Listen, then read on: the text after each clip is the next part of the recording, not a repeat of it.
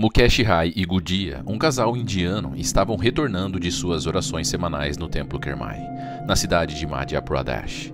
Sua rota passava pelo Parque Nacional de Pana, uma paisagem repleta de flora e fauna, incluindo o temido urso preguiça. Em um encontro infeliz, o casal se deparou com um desses animais. Mukesh tentou bravamente afugentá-lo, mas o urso respondeu com um ataque feroz e mortal. O animal massacrou o casal com tanta violência que a morte veio quase instantaneamente para ambos. A cena se tornou ainda mais aterradora quando o urso começou a rasgar e devorar partes dos corpos do casal ainda pulsantes. Moradores locais, horrorizados com a cena, tentaram afugentar o urso, mas seus esforços foram em vão. Finalmente, uma equipe de resgate chegou, disparou tranquilizantes no urso e o capturou. As autoridades locais sugeriram que o urso poderia estar sofrendo de raiva, uma condição que pode alterar drasticamente o comportamento dos animais. Mais tarde, o urso morreu no zoológico, provavelmente em consequência dos sedativos utilizados.